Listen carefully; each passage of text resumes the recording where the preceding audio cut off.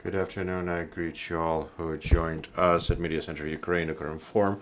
We start our work, and today is a very important meeting, uh, ninth year for and uh, 168th uh, day since the full-scale invasion of Russian aggression to our land. So the challenges that we faced uh, with this war we will speak about uh, those challenges, and the topic of our conversation is uh, uh, registering uh, war crimes and uh, uh, making criminals responsible, speaking about the victims of Russian aggression, those who suffered from it, and support and communication with families of perished, of POWs, and of those who are missing. So today, well, we have representatives of NGOs, of international foundations, and also representatives of uh, the different uh, institutions of authority, of state, state authorities. Uh, and I would like to introduce our speakers today. Oksana Kolyada, head of the projects of Geo uh, of Mrzhilivsty, Olga Halchenko, International Foundation Vidrodzenie Renaissance, Lev Kotenko, representative of Office of Author uh, Commissioner on uh, Missing People. Andrei Yusov, coordination uh, staff of uh, issues of uh, handling the POWs. Volodymyr Lyamzin, head of Central Administration of Civil Military Cooperation of General Staff of Armed Forces. Director of Department of Ministry of Veterans, uh, Ruslan Prihodko. Olga Reshetylova, uh, founder and coordinator of uh, the Initiative for Human Rights. Alena Lunyova, advocacy director of uh, Center of Human Rights, uh, Zmina. And also we have our two participants online. I still do not see them, so I hope we will add them. That's Daria Sviridova, member of Commission on uh, uh, Legal Reform under President of Ukraine, and Nadia Volkova, director of Ukrainian Legal Advisor Group. So, without further ado, we'll start our conversation. Uh, Oksana, we give you the floor. Please tell us why we gathered today and why this topic is so important and sensitive, please. Good day, everybody. My name is Oksana Kolyada, and I'm the project director of organization of uh, Mrzhilivsty, and uh, I represent a coalition of uh, spaces of veterans. I can tell you that all veteran spaces are uh, online. It's more 20 than 20 centers to support veterans and their families and families of missing people, of POWs, uh, that uh, those centers support them daily. So for them, it's very important to hear what we will be talking about. They write questions to me, and in the end of our session, I will ask them. I want to say that the war is people, our defenders that defend us in the front line, and uh, it's the families and families of those who perished and those who are missing and those who are captive and uh, the authorities and state institutions and uh, legal organizations and NGOs they have to communicate with those people on what is happening what are we doing to support them with all means possible to find their relatives, to bring, sometimes bring the bodies to bury, because we know the uh, war ends when we uh, return our last hero home.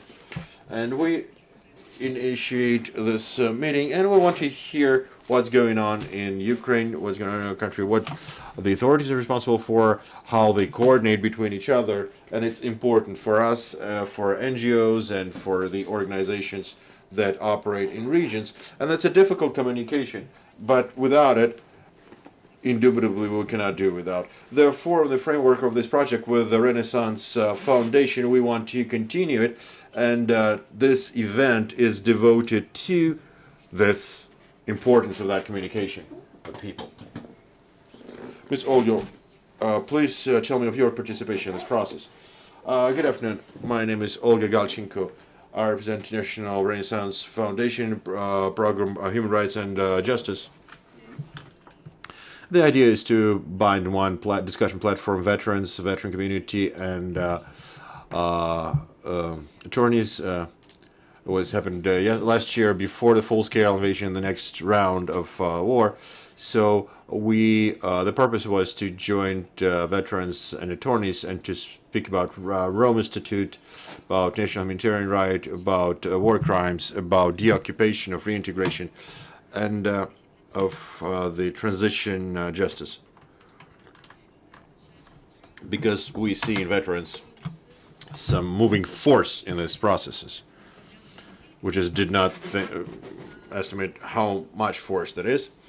So the start was uh, last year. Uh, it was more a theoretic discussion.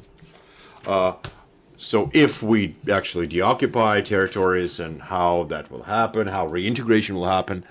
Uh, however, now after um, full start of full-scale invasion, it's a paradox because we have more occupied territories and the scope of task uh, is bigger, but it's a paradox. We have a feeling that this deoccupation will happen, and all the theory that we were discussing last year, uh, we will be prepared to implement it in practice, and uh, that feeling um, became stronger, and this deoccupation is happening. We just have to speed it up and move to from theory to practice, and it would be very interesting to hear the state. What does the state do? And uh, veterans and attorneys, how we can be uh, helpful and how what roles we can play. The veterans and uh, the, the, attorneys uh, in the rear. Not all all the attorneys are in the rear. There are uh, there are the front line as well, and the civil society. How we can help the state in this very difficult and very uneasy issues that we'll discuss. Shall I please you maybe take the floor and start the conversation from the start, from the state? We understand the challenges that uh, the state faces since the start of full-scale invasion. We understand that they were uh, back in 2014, but with the start of full-scale invasion, they um, scaled up drastically. So uh, what are you doing now? What challenges you face and what problems? And uh, it's very important, as Olga said, to understand how civil society can help you, how volunteers can help you, how those who are willing to help can help you. Good afternoon, dear colleagues. I'm Oleg Kotenko, uh, Commissioner on uh, issues of missing people on special uh, circumstances. War is also special circumstances, uh, so the state cares because of uh, searching for such people that uh, are missing. Firstly, you emphasize that in 2014, I was the head of uh, Patriot Group uh, NGO. I was looking for missing people and uh, um, freeing the POWs, and uh, so I know this work, and I, have been working in this field for a long time. So when I took this position, I did not have things that I didn't understand, really. I understood what, what, what to do and how to do it. To that end, the Secretariat was created uh, in the Commissioner's office. Uh, it's comprised of five people, and uh, we're finishing up work on creating the coordinational centers that will be in each uh, region, work in each region. And I think pretty soon they'll start operation. And this will be, as you say, how we can communicate with the civil sector, with civil society, how they can help. Actually, uh, the coordinator is a very responsible role. It's communicating with relatives of missing people. Also, it's communicating with uh, state authorities uh, to be able to help people who need help in the regions where uh, they are. And uh, search and rescue groups uh, where, where they're needed on the front line, or Mykolaiv, Zaporizhia, Donetsk region, Kharkiv, where the uh, the combat happened happened, uh, and uh, Sumy, Chernihiv, Kiev regions. The rescue, the search groups will work there, and together with the general staff, where the armed forces will work in that, and we cooperate with the coordinational uh, staff that was created and was is headed by Kirill Budanov, and they will speak more of themselves. But I think I consider that unless we unite to solve those issues, we as a state, it will be diff very difficult later to do anything when we won't be uh, united, and we won't have a single goal. Firstly, to win over the enemy, and then to find the missing people, because we add each other. It's not by 100% uh, works, uh, but it, it does work. Volunteer organizations work with us, uh, activists work with us, uh, volunteers work, work with us, and they really help us in our work uh, that we fulfill. Also, all state bodies that uh, we communicate with, they help us really. And this improves the speed of uh, our search of missing people. Currently, we have we have returned uh, bodies of perished heroes over 500 just yesterday we took 17 bodies of our heroes those who were considered missing. Many people that we think are missing uh, we just have connection with them. People address but but but sometimes we find them alive because uh, there is just no uh, no uh, communication with them. Uh, sometimes people just missing because there's no connection and we don't understand where they are but there a lot of people we find and uh, sometimes we find that they're uh, prisoners of war. And uh, our coordination our uh, staff is working to be able to uh, save those people to free those people. And uh, thank you for welcoming me here for inviting me here. I'm agree to in, involve with such uh, events to explain people what they need to do I think about algorithm of action, so I could just speak in a nutshell, just uh, for people to understand uh, what to do if uh, somebody goes missing. Number one is to address the national police with a uh, request about missing person, application for missing people. If uh, police wants to take DNA, give them DNA. It does not mean anything. It does not mean that the person has perished, but there is a procedure. It's a procedural issue. Step two uh, is you have to address the National Informational Bureau, NIB. Uh, 1648 is the hotline uh, number. 1648. Probably uh, some people uh, who are watching us already addressed them. For us to be able to account all people that we have no connection with. So if we find them, uh, we take them from that of that register. And I recomm also recommend uh, to address the commissioner on uh, missing people, to address us. Uh, we have our telephones. Please, 0800 339 247. And if person is abroad, uh, there's uh, 095 896 0421. There, there are messengers, and you will be able to call them, and people add, give you uh, psychological help and will tell you what to do in your situation. The operation is ongoing, a lot of work, really. Uh, regretfully, we cannot do everything at once because we had a lot of uh, talks with the relatives. They scold us, say, "Well, why didn't you not do this? Why did you not take our uh, relative? Why it goes this way or that way?" We are conducting hard work. It's not only our office, all the all the state, to return all our defenders that are prisoners of war or missing, and I want to believe that this will be as soon as possible. I think about captivity, the people will tell you uh, later. But thank you. We were speaking about communication with relatives.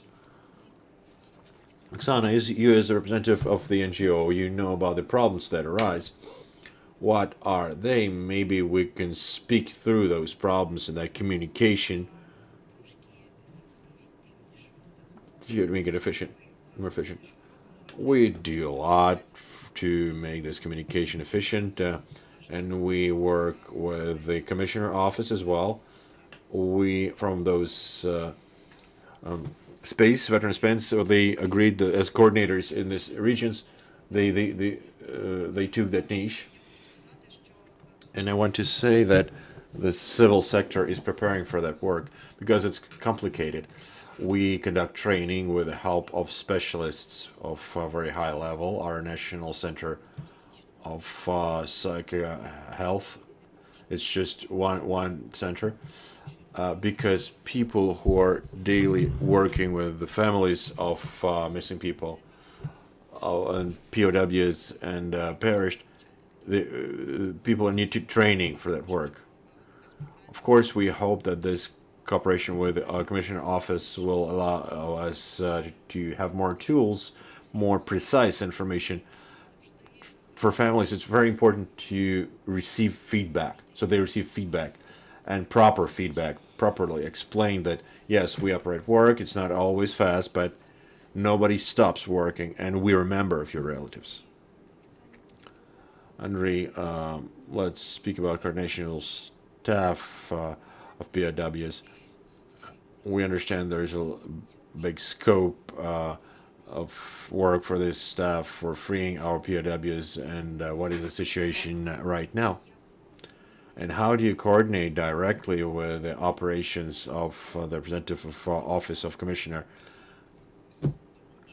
Good day, uh, Yusov Andrei, representative of uh, GUR and uh, uh, working group of uh, working with media. And uh, as everybody present here, and coordination uh, staff of treating POWs, it's intra-institution body created under order of the Chamber of Ministers. And uh,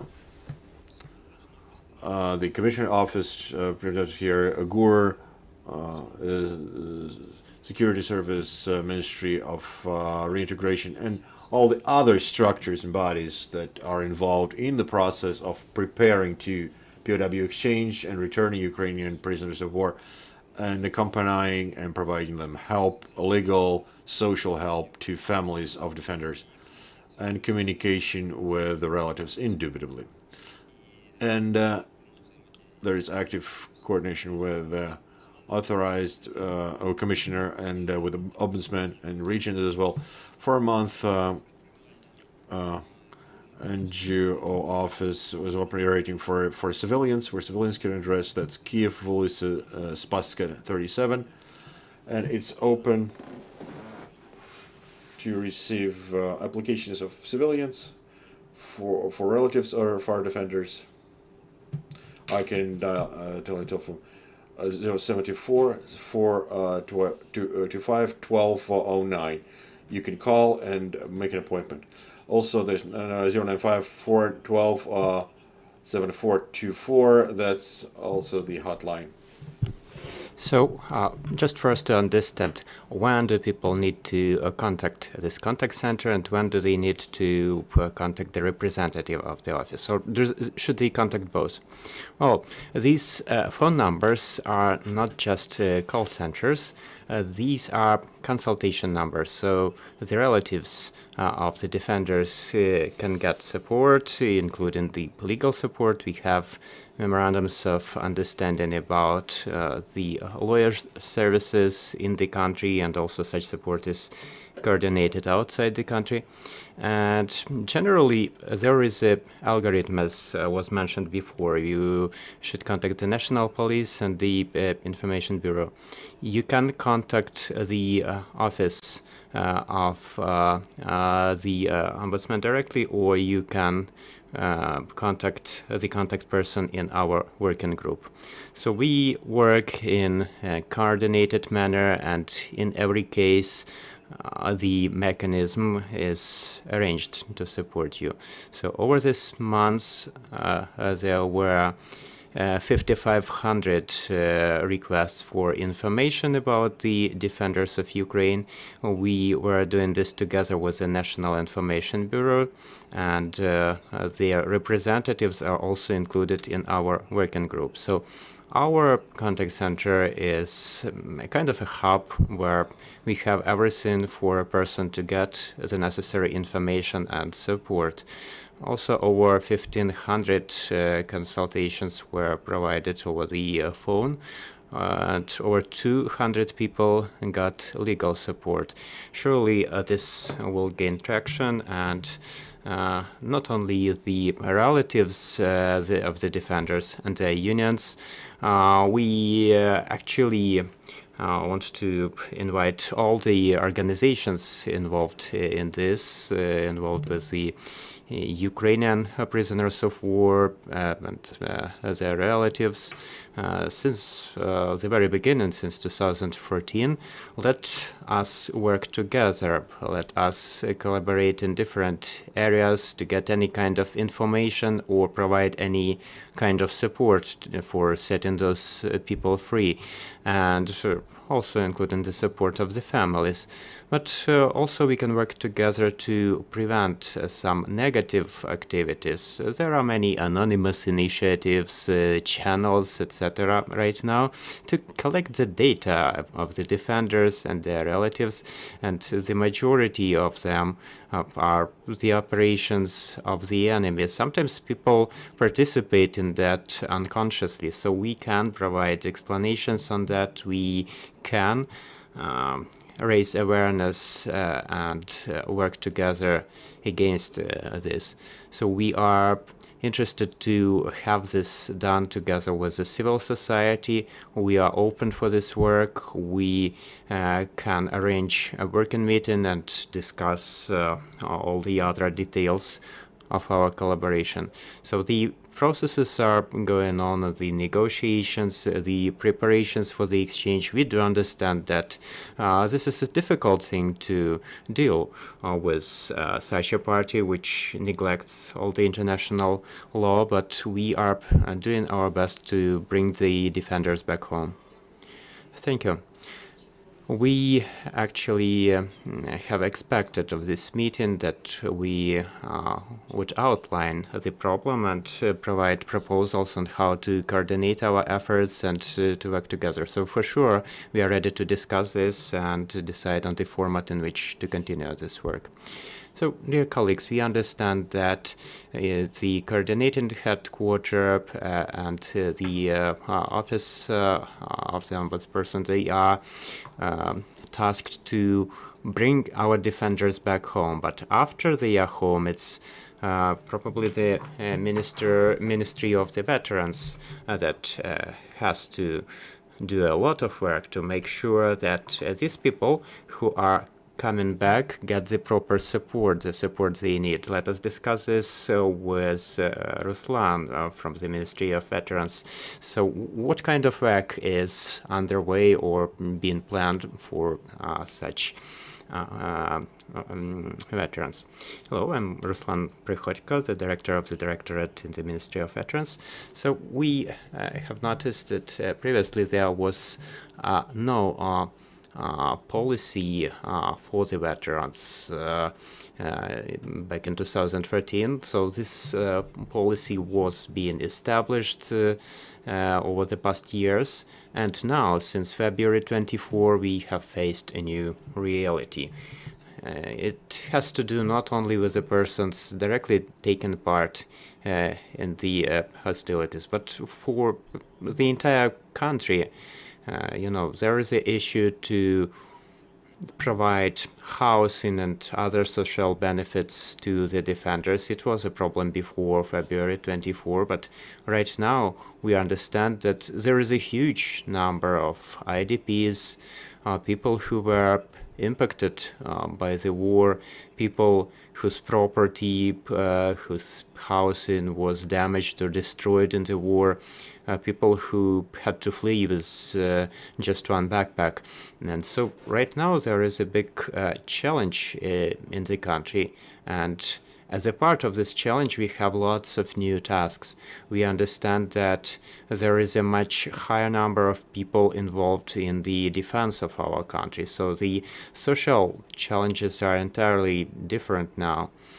Uh, when it comes to uh, this work with uh, people uh, coming uh, back from being imprisoned or people who got some injuries, concussions in the war, and also the families of those who perished at war, we analyzed the experience of other countries uh, in terms of rehabilitation of uh, uh, persons who were imprisoned by the enemy. We were looking for uh, the best uh, practices uh, that could be somehow implemented here in Ukraine. But the experience we are undergoing right now, this is something unprecedented in Europe. that's a huge challenge, and we understand that this is a priority task for the Ministry of uh, Reintegration and for our ministry as well working with these people who had been imprisoned by uh, the enemy and uh, came back. We understand that uh, this is a traumatic event uh, not only for the person but also for their family. So we are developing the first uh, pilots and getting ready to launch them. Uh, quite soon, uh, I will be ready to announce uh, this information in more detail. We are right now establishing the teams of psychologists. We are um, allocating uh, some uh, financing for this with support of international partners who are ready to participate in this. We saw situations uh, when uh, the uh, families of Azovstal defenders were traveling all around Europe, and we saw that many people were ready to participate in helping them. So the uh, civil sector is also getting involved uh, very actively, and uh, quite soon we will uh, arrive at a certain system of uh, synergy between the government and civil sector. So, as for your second question, it's very important as well. We are facing the situation where uh, some people actually die at war. We have to take care of uh, their status, and so we are uh, amending the regulations to uh, streamline uh, the uh, the assigning of those statuses. Also, we have um, different kinds of volunteer groups that were also taken part uh, in activities intended for the defense of the state, but again, legally they did not have the proper status, and in case uh, these people die or in case uh, these people are injured, we also need to have the procedures to uh, make sure that the proper status is assigned. So we are working with the committee uh, under the government of Ukraine. A draft law is developed, and it is right now being considered in the committee. And um, thanks to this draft law, it uh, will be possible to uh, uh, provide the proper status to such people. So I, I have two uh, questions uh, from the hubs. The first question, Ruslan, do you already have the sub law for the law on social uh, status of uh, those set free uh, from the imprisonment with the Russian Federation. So other sub-laws already, is this law being put into action already? And the second question from the hubs, uh, will the Commission uh, under the Ministry of uh, Veterans consider the issues of payments for the deceased? So, for instance, if the parents live in other countries and the grandparents were taking care of their children, so will the Commission be dealing with such situations? Yeah, we'll start with this second question. So the uh, Intersectoral Commission um, right now is operating and also there are uh, commissions in uh, different kinds uh, of uh, uh, law enforcement and military agencies. So in the future, on top of the issues that the commission has been dealing before, right now there is a new a decree by the Cabinet of Ministers is being considered for assigning the proper uh, status to the defenders, and uh, there will be some uh, mechanisms for providing the status to the volunteer groups. So it's the commission of uh, the general staff that will be considering cases, and uh, we will be considering cases uh, in which the persons were not in the military at the moment when they were injured or died. And all the other related issues will be uh, considered by our commission. But we are an intersectoral commission, so we have representatives of every agency, and uh, since the beginning of the full-scale invasion, for some time the commission did not uh, have its uh, meetings because uh, some of the members of the commission were directly involved in the defense tasks. Uh, right now we are uh, quickly working through the backlog of materials. So you mean the families uh, can contact you directly, the intersectoral commission? Yes, but I believe if such cases are of any systematic nature, there could be a joint meeting uh, with representatives of the civil society uh, and other stakeholders in this process, and we would uh, develop some solutions together. I personally am not uh, ready to tell about the numbers of uh, such cases as the example you're given. Yeah, our today's meeting is uh, about the cases which our veterans are facing. And there are such situations in the field. So, for instance, uh, when they communicate with the relatives uh, of the deceased, there are such cases, and so they are asking the questions. So we are indeed ready to have a separate meeting we are ready to uh, prepare the descriptions of uh, cases uh, for us to be able to develop the mechanisms. Yes, and coming back to your first question, I'm not deeply involved in psychological rehabilitation, but uh, do you mean the persons uh, who were civilians or who were in the millions?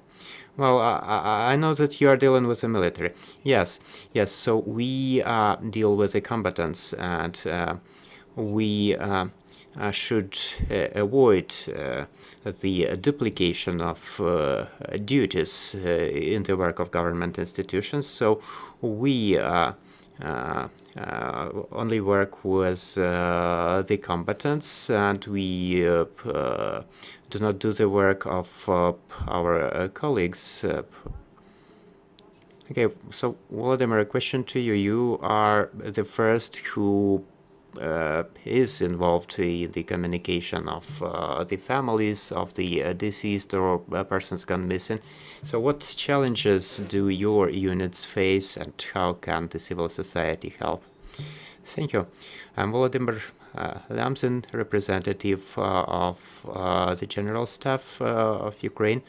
So the communication with the civil society, first and foremost, uh, I'd like to mention that the armed forces uh, of Ukraine are always open for such communication and uh, constructive dialogue because all of us, uh, uh, those who are here, are working to arrive at the common goal, uh, which is the victory over the aggressor state. And indeed, there are uh, challenges with communication. I will not delve deep into that. It's not exactly our unit uh, that is uh, always responsible for first communication. In some areas, yes, but the main share of such communication with the families uh, of the deceased, of the present, of the uh, persons gone missing, uh, this uh, are this is a communication that is happening for mm, happening through the centers uh, of enrollment and uh, they are taking care of uh, all those benefits, payments for those who are still alive, those who are unfortunately deceased or gone missing or prisoners of war. So there is a certain system in the Ministry of Defense. It does work. In some cases, uh, there is uh, this so-called human factor that uh, can hinder uh, the effect and operation of the system, which, but such cases are rare.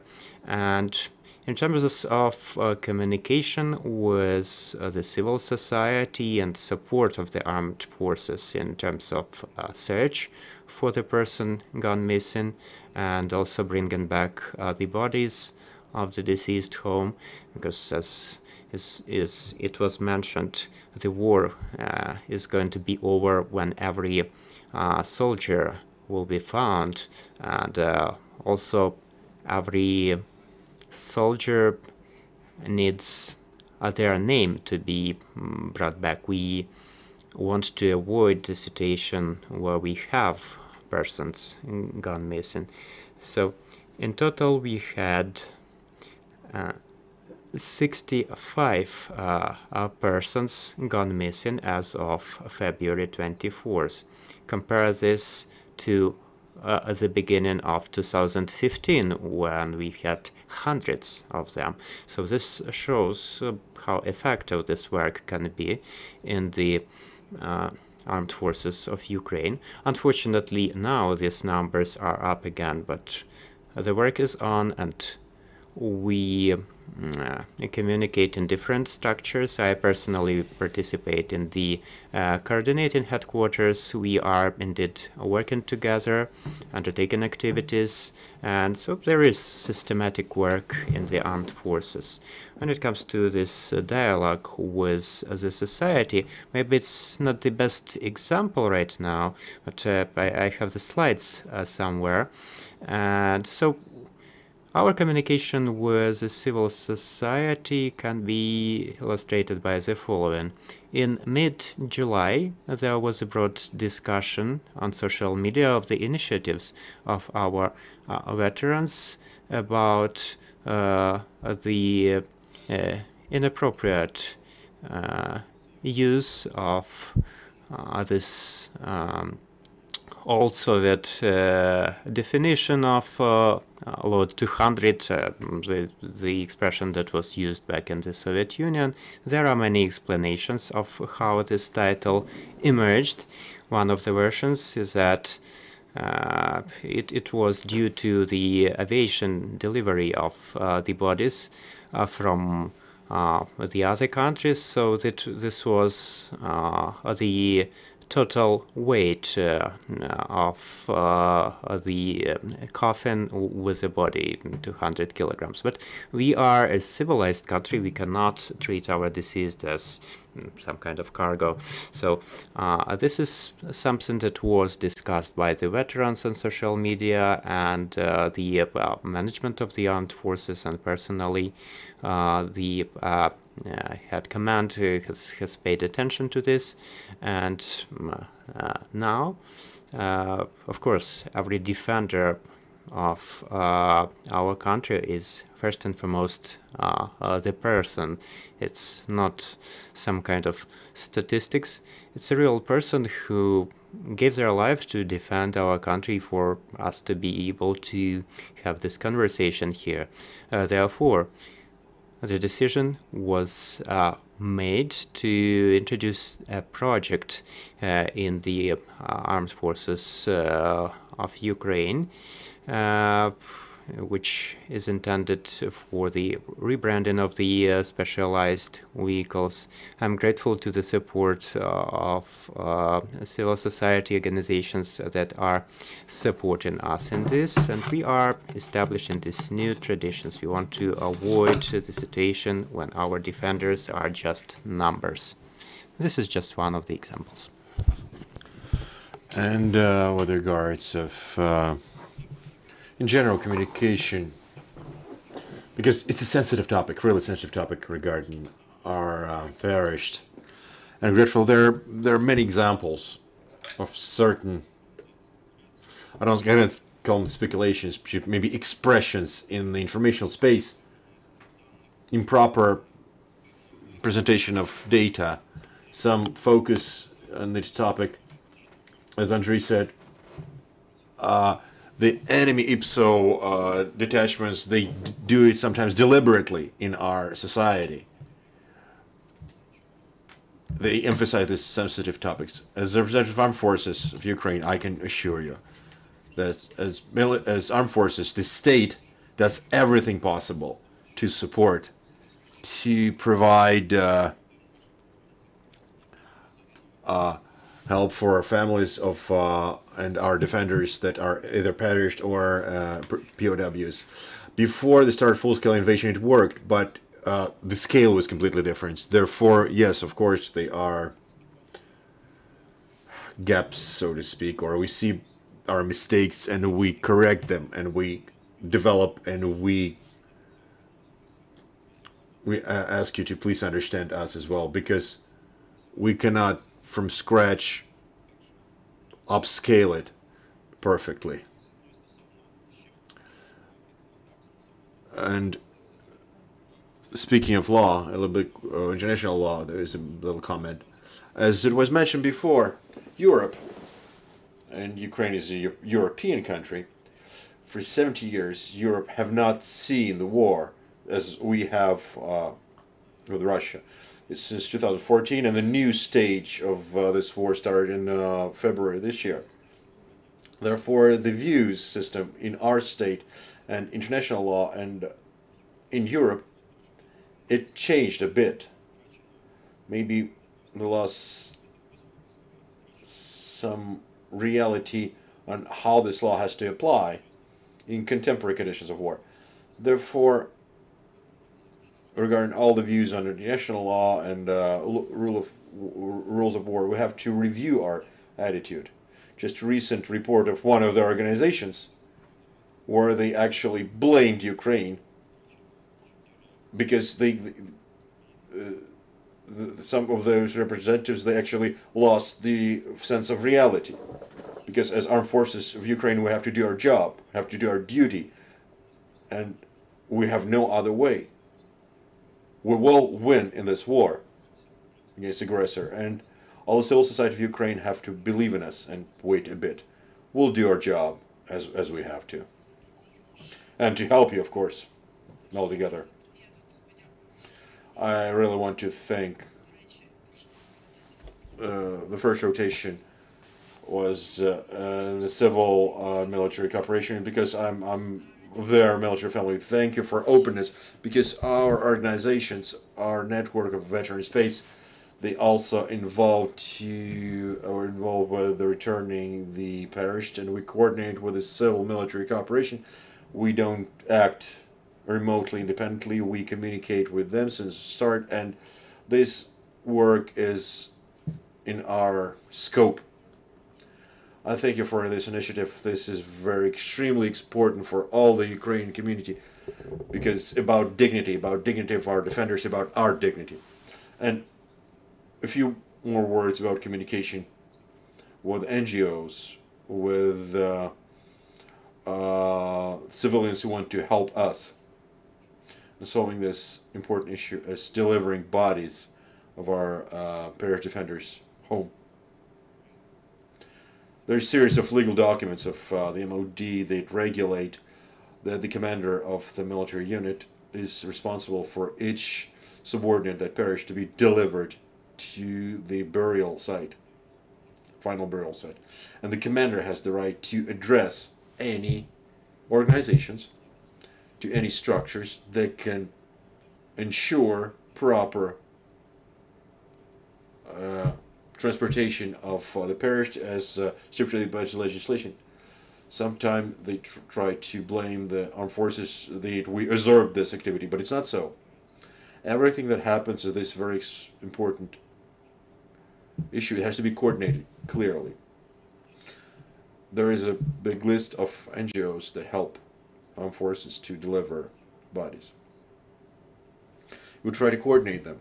Why? Because it's elementary not to say that to Dnipro, where one of the big uh, uh, forensic expertise uh, institutions is, two or three specialized uh, groups of armed forces move that will transport bodies of our uh, defenders home. But to Kharkiv, just seven representatives of uh, NGOs under their initiative because parents address them or commander addressed them just not to mix it all up. We ask you to coordinate and communicate with us, with armed forces, with our detachments that are involved with coordination. Why? To utilize the resource, all the resource that armed forces have, all the resource that our civil society has, all the organizations that are involved with this extremely important issue and complex issue, to have an even uh, distribution of means and to make this work maximally efficient to avoid cases when somebody is has initiative but did not know the conditions of legislation, how, how it should be happened. And regretfully, we had cases when the delivered bodies of our defenders home, and then we had to bring it back to forensic expertise uh, institutions because there is an order, there an algorithm stipulated by the legislation we, we, we are not allowed to break. And I address all to help to help our forces. We really appreciate your help, always. And we want to help you as well. But please understand that this system, as it's established by the state, it has to operate as a single mechanism aimed at reaching certain result. Thank you. Uh, Olga uh, would like to give the floor uh, as an expert on uh, law of in wartime. You face many cases. Let's speak about them. Thank you, thank you very much. I think everybody who is uh, watching us or listening us, they understand the contest, context and the scope of problems uh, for Ukrainian state and for civil society of Ukraine. My name is Olga Reshetylova, uh, and I'm coordinator of Media Initiative uh, for Human Rights. It's the organization that was created in 2016 by journalists that since 2014 were adjacent to investigations of violation of human rights related to uh, military aggression of Russian Federation. And uh, we continue those operations. We investigate also location of civil uh, captives, uh, POWs uh, also. We register war crimes in the combat area. We wrote a lot of work. We analyze, uh, well, lawyers work with us, and we give that to the national investigators bodies. And uh, speaking of uh, mechanisms that are aimed at making criminals responsible. That's International Criminal Court, specially co uh, created commission of under the UN on investigation that operates in Ukraine.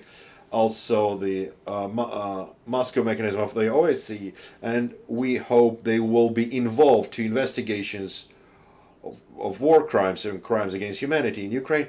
But today, I would like to really focus on our cooperation with the state bodies and firstly, I would like to thank the organizers. It's really important that we gathered all here together and that the authoritative representatives they express their willingness to cooperate because we since 2016 and before we observed this sometimes I would say post-Soviet practice pardon me that the authority just shut themselves from uh, the civil society or per perceived civil society as opponents or uh, perceived critic uh, of civil society from civil society as something hostile. We operate, as you mentioned, we work on the single goal, and uh, if sometimes we criticize the state bodies, it's just to help uh, emphasize the problem, not not to hinder your work. And uh, now, when we try to uh, question relatives of uh, captives or or to trying to help, uh, pretty often we face that investigators or representatives of the Secret Service, they recommend relatives not to talk to civil societies, not give them information. And I think it's really wrong because sometimes uh, uh, the civil society has uh, more trust to NGOs. And we have tools that the state cannot use. And we could be of use to you.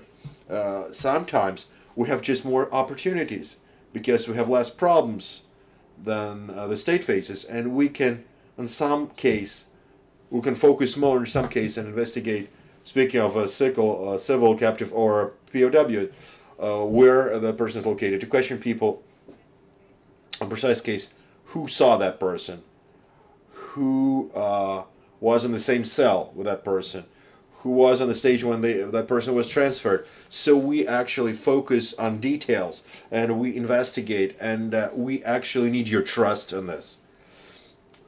It's clear because there are many crooks as well now. But they are reliable NGOs as well. Like, well, they're well known that right now in the coalition of Ukraine, no, there are 30 NGOs that uh, register war crimes and they're all reliable and checked NGOs that you can really trust, and you you you, you can give them context, and you can uh, talk of uh, to the relatives of uh, uh, that they, they don't shut from us. So this coordination is really extremely important. And uh, also we can help the state that from objective or subjective reasons cannot ensure full communication with a lot of relatives of uh, uh, perished of POWs. We elaborated uh, on the British model with concept of communication with help of uh, Glenn Grant, uh, who's a military expert of uh, the UK. Communication with families, communication of losses, so to speak, with relatives. Regretfully, the centers of social support that were created, they pretty often cannot manage this work. Sometimes because they have no trained specialists that they lack them. Sometimes they just don't have enough info. And here it's very important to involve that communication the relatives. We speak that we could create, I can call it, so to speak, parent committee, the union of relatives under each military unit, that would ease the communication with them. You, you would not need to each family member of a missing person to they would not need to call the commander 10 times a day and increase pressure on that commander and on staff of uh, military units and uh, on the uh, conscription offices as well. So uh, the our concepts is uh, how to implement that, and we are willing to assist that uh, in implementation of that concept and to involve with that as well. It's really important. More than that, there are veteran spaces, veteran offices. There are vets who are willing to in, be involved with that work, and what we need, we need more trust and openness and to involve civil society more. We clearly understand the scope of work, the huge scope of work that each one of you faces, and we're willing to, uh, to help. And we greet the coordination staff, the coordination staff creation, because before that, uh, it was nine circles of hell for relatives re- to repeat the same thing to different institutions, and it's psychologically extremely important, for, uh, extremely uh, difficult for the relatives. So I just greet this initiative. It's it's very good and uh, the initiative from DRI uh, on creating working group or as minimum to conduct working sessions. Our NGOs and our media initiative uh, for human rights and coalition of uh, Ukraine 5am, uh, we are willing to help and we're willing to share information and to coordinate with you. The only request is to give us more trust and more. Please be more open with us. Thank you, Alyona Lunyova. Let's speak about the defining categories of people that uh, suffer due to Russian aggression. So please, the floor is yours. Thank you for your question, Alyona Lunyova, Center of uh, Human Rights, ZMINA. We're also co- uh, part of Coalition uh, Ukraine 5 AM. We're joined of, uh, to question of documenting war crimes during Russian aggression and to certain solutions that could uh, improve the investigations and to improve lives of people who suffer from war. The people who suffer, uh, the victims of war, uh, is very topical because in Ukraine still, we're in the ninth year of war, we still have no single approach who is a victim of uh, uh, armed aggression of Russian Federation. Oksana started properly that war is people, it's about people and it's not only about people that defend the country, it's not only about the uh, relatives of defenders, but about civilians, about civilians that suffer from war. Prior 24th of February, prior to the full-scale invasion of Russia on uh, our territory, we were speaking that the state defined uh, victims of war as certain categories of people. So uh, the state defined categories and certain ways to defend those people. It happened with persons that uh, or, uh, had crimes against their freedom, their civilians and POWs. Uh, missing people under certain circumstances, a huge category as IDPs. Uh, so state approaches were such that let's pick a category.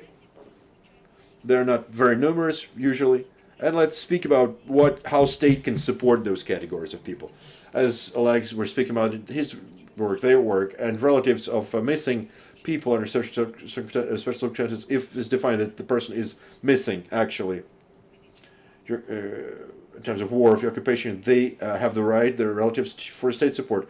And the state just works with the categories. And since February 4th, situation had to change. Would have to be the same approach to defining what category of people could be considered victims of war. Due to high numbers of victims of war, we're speaking about we're speaking millions of IDPs now. A few months we were speak ago we were speaking eight millions, and we don't know how many mi millions will be evacuated from uh, uh, uh, territories that are occupied by Russian Federation now, and how much more IDPs will have. So we're speaking about which uh, people are, victims of co uh, conflict, and to create uh, transparent criteria, which is really important that all the persons that are victims that need to be defended and their rights have to be renewed and uh, the losses have to be compensated. And to expect Russian Federation to do it, we, we shouldn't on this stage, but they, they will compensate in due time. And international partners would be willing to provide the support and su uh, support the victims. Uh, but here, uh, it's our initiative. It has to be our initiative, initiative of Ukraine We have to create a clear understanding, clear definition of victims and uh, criteria, and study their needs in order to have an opportunity to make a request to international partners asking to provide certain aid. It's relevant to cer uh, certain victims of war crimes, like victims of sexual violence uh, in conditions of war conflict, victims whose uh, property or whose housing was damaged or destroyed, uh, wounded uh, at war. So the state now has to take that duty and form this state approach. And I think the start, the initiation of the process has happened already. As you know, the state started, initiated this ambitious plan of renewing Ukraine from the consequences of war. And in this plan, there is a uh, part of uh, human rights uh, and has a block of defining the victims of war. So I hope the Council on Renewal of Ukraine they'll support the plan and it will in detail provide how this what will be the responsibility of the state to define the victims of war. And I would like to reiterate that we have no examples to look at. We cannot cut and paste the approaches because in the international law, there is no single definition of victim of armed conflict, just several categories of uh, humanitarian right, national humanitarian right, but it's just about the course of war.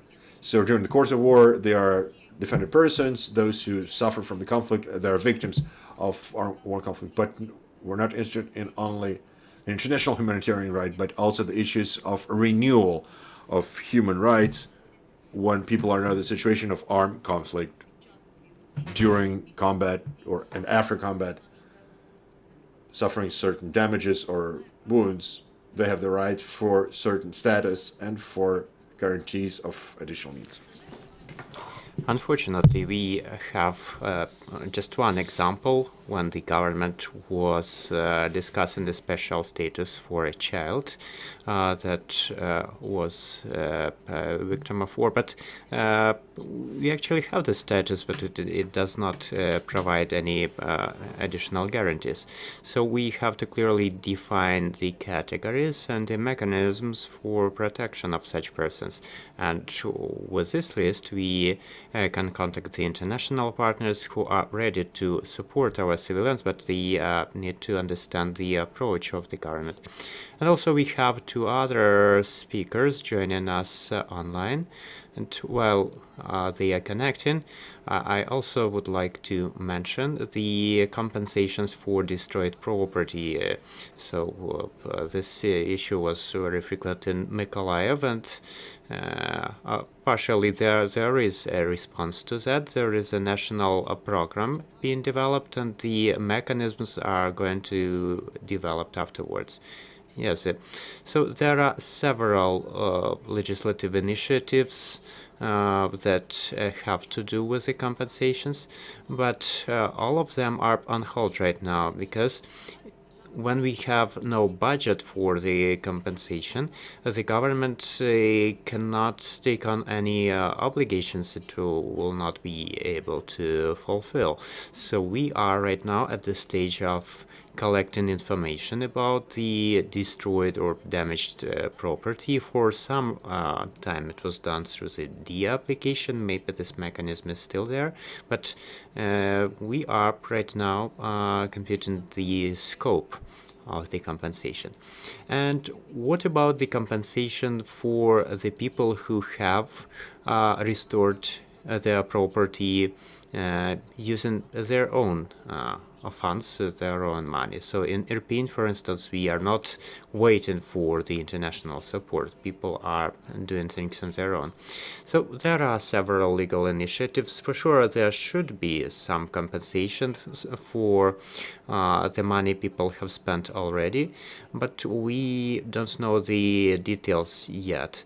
Uh, in the east of Ukraine, there was such opportunity uh, till the 24th of February, but right now, since we don't even know about the scopes, uh, it's it's very difficult to speak of the detail. And also, there is a decree by the Cabinet of Ministers. Right now, the needs are uh, being collected, and all of us were uh, providing our proposals on the uh, priorities of uh, different categories who will get the compensations first for uh, the destroyed or damaged property. These categories include uh, veterans and uh, uh, families of the deceased. But uh, right now, the first thing we need to know is the total amount of funds that's necessary based on the amount we will be able to look for uh, the sources. Uh, these are huge amounts.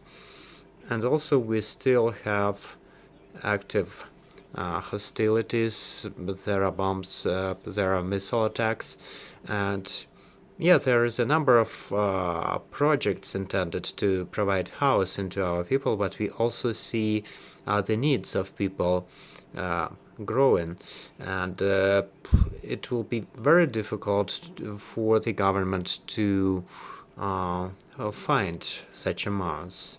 And also the government has already had obligations before February 24th.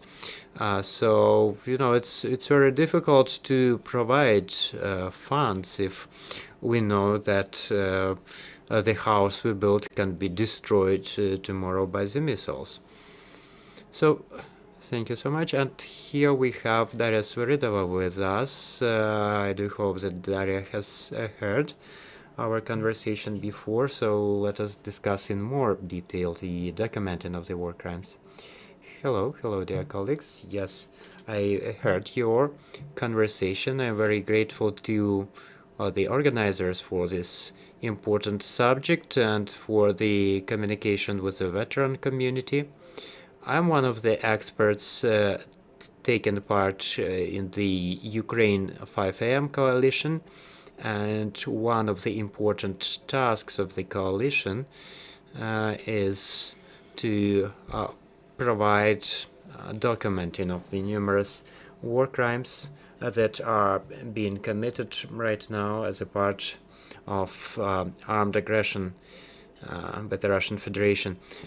And one of the important uh, elements of uh, uh, mitigating the consequences and restoring the rights of the victims is this important element uh, with which I've been involved directly since 2013. Uh, this area is access of victims to justice uh, and uh, defining the person's uh, uh, guilty, no matter how much time has passed. So this work is done in two big tracks, one of which is the national and uh, the second one is international. So I will focus on the second one because this work of Ukraine in order to protect uh, the rights of the state and the citizens and uh, ensuring the compensation for uh, the losses uh, incurred. on the international level, it is one of the best examples of um, a high quality legal battlefield that uh, will help us uh, ensure recording the crimes committed by the Russian Federation, but not limiting uh, Uh, ourselves to some uh, political declarations about the uh, support of Ukraine by the international community, but also uh, the uh, recognition of the crimes in the jurisdictions recognized by every civilized country. And I believe this work is no less important than finding the political support and the numerous uh, political resolutions that we are uh, getting in the diplomatic space. So uh, this uh, war is uh, here uh, since February 2014. since then, Ukraine has contacted in over 10 occasions when, when these cases were initiated uh, by the Ministry of Foreign Affairs. So uh, these were um, uh, these were addresses to the international courts of justice and also uh, the prosecutor's office with the non-governmental organizations uh, have contacted the international prosecutors if you are interested uh, in more detail, detailed information, you can find it in the special uh, website uh, created by the Ministry of uh, Justice uh, which represent this legal component of uh, our war. But let us focus on what was done since uh, February 24th because of the uh, crimes committed by the Russian Federation in this year. So, uh, since the beginning of the aggression in this year, the Ministry of Foreign Affairs has contacted the UN International Court. It is a case against uh, the Russian Federation, and uh, uh, this is a crime under a convention uh, on the prevention of genocide. And uh, this case is based on the propaganda, um, ungrounded propaganda statements by the Russian Federation, claiming that they were forced to protect the population of uh, Ukraine from the genocide uh, uh, purportedly uh, perpetrated by the government of Ukraine. So uh, this was the reason why this case was filed to uh, the International Institution of Justice, and hopefully it will give the proper assessment to these actions of the Russian Federation and uh, trying to justify uh, their actions by some purported genocide uh, of Ukraine. So if uh, this case, we surely understand that it will take some time for the case to be fully considered, uh, but uh, we could see in March this year uh, the decision was made about uh, some temporary measures against the uh, Russian Federation um, under the convention that I was uh, mentioning before. Uh, there was an address calling Russia to stop the aggression and the combat operations. And we all understand that the aggressor state is systematically ignoring uh, such rulings of the international courts, but from the legal standpoint, they are very important. Uh, they are important for documenting the uh, illicit activities uh, of the Russian Federation and uh, its uh, top officials. Also, the work is underway with the International Criminal Court, although we have not uh, ratified the uh, Rome Statute, but Ukraine has agreed for the jurisdiction of this court a couple of years ago, and uh, also it uh, has expressed consent for the investigation of crimes by this court um, back at the end of 2013.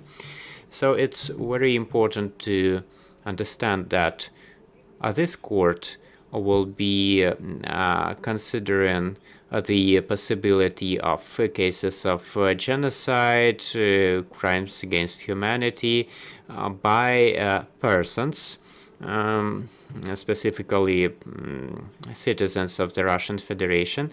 And uh, this will be a criminal responsibility imposed on specific persons, uh, unlike in the uh, uh previous case I discussed. So uh, this, I believe, will be first and foremost top officials of uh, the Russian Federation that have to do with these uh, systematic crimes committed in our territory. And unlike in the previous uh, years, where the investigation has uh, not been started, uh, the uh, basically were considering uh, the evidence provided by Ukraine. this year, however, um, as initiated by 39 organizations, uh, the uh, prosecutor of the International Criminal Court has uh, initiated the investigation and has been to Ukraine several times with the purpose of uh, investigating these international crimes committed in Ukraine and which has grown in scale since February this year. So the um, charges are not there yet, but the investigation has started, and that's a very important step on, on the part of uh, the uh, international prosecutor. And one more important institution involved here uh, that uh, has uh, already made the first rulings. Uh, this is the European Court of Human Rights. On numerous occasions, we have uh, uh, filed cases about violations uh, of human rights by the Russian Federation. So this these are the cases against the Russian Federation, and the crimes have to do with violations since 2013. In February this year, the Ministry of Justice has filed a case once again about the um, a violation of the right to uh, life, uh, about the uh, uh ban on um, uh, the uh, illicit imprisonment of persons, the ban on torture, the right to freedom of speech and expression, the right for peaceful associations in the uh, uh, cities and towns occupied by the Russian Federation. Also, the uh, destruction of property by the Russian Federation. So there were numerous uh, violations of human rights uh, that uh, were filed in this case by Ukraine. So the court has received all the materials and has informed uh, the Russian Federation about the case. So, if uh, uh, you know these courts have already received the cases filed by Ukraine, the work is uh, underway and also Ukraine has uh, initiated new legal platforms which uh, can be established and uh, Ukraine is currently working for them to be established to make sure that uh, uh its citizens are protected. So there are two uh, quite serious uh, initiatives. The first one being the work of uh, the Office of uh, the President together with the uh, Ministry of Foreign Affairs in order to establish a special uh, tribunal on aggression against Ukraine. So uh, there is only one uh, similar case in history, the Nuremberg and uh, Tokyo tribunals, which were established by several states um, as a consequence of uh, crimes committed uh, during World War II. So we are pressed on time, Director. Please be very brief about these initiatives. Yes, and the second initiative is the Commission uh, on which also the Office of the President and the Ministry of Justice are working right now. It's a compensation mechanism that is uh, being developed by uh, our uh, country and uh, communicated to our partners. If it is established, it will be possible to compensate for the damage of property using the uh, property uh, of the Russian Federation that is right now under sanctions. And we do understand that the work of international organizations is slow. for sure, it's very important in this work uh, to make the contribution, and the contribution of every one of us is important. I uh, do support the idea that all of this work is being done for the people. And in the international courts, it's very important to have uh, the cases uh, timely and comprehensively documented with the eyewitness accounts who will uh, later be available uh, to take part in the court processes. So I do hope that this work that's underway right now, the work by the government and the civil society, will contribute to the development of the national mechanisms for the protection of victims and building the trust uh, for us to have the basis for work with uh, international uh, court institutions, to have the possibility to report about the crimes uh, committed and to uh, get uh, the, the persons held responsible in case of war crimes and crimes against humanity committed in our territory. So thank you. And also we have uh, Nadia with us. We will uh, request Nadia Volkova to be very brief. Nadia, are you with us? Yes, I'm here. So yeah, we we we are pressed on time, but uh, uh, our next event is, is going to take place very soon, but I know that your message is important. Yes, I've been listening to all of you very attentively, and uh, actually, it's the advantage of the last speaker because I could have heard many important uh, ideas today, so I can summarize briefly that yes, I agree with the previous speakers and uh, my thoughts and feelings, uh, the feelings of the person who is in Ukraine right now is that, yes, the challenges are numerous. We've always had them, and after the beginning of this full-scale invasion, uh, these uh, challenges have increased uh, in scope dramatically, and it's a huge tragedy. Uh, it's a huge uh, grief here in Ukraine, but also uh, it's a, a, new chance for development if we truly overcome these challenges. Uh, this is what we call life, because without moving forward, without searching for effective solutions, we will not be able to keep on living.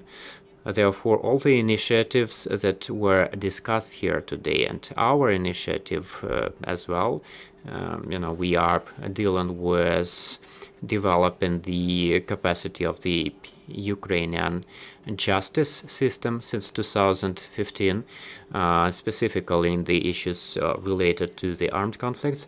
So there are many challenges, many problems. Uh, I know that we are pressed on time. So uh, just like Ruslan has mentioned and uh, Volodymyr has mentioned before, there is uh, unfortunately, uh, as, as, Ukraine has demonstrated to the world, uh, there is no ready-made solution. We are working between the national and international levels, uh, finding the opportunities in the existing just justice system, but uh, actually this system uh, does not uh, meet uh, the requirements uh, of the current situation. So it depends on us to rebuild what's right now for the benefit of Ukrainians, but also for the benefit of the entire world.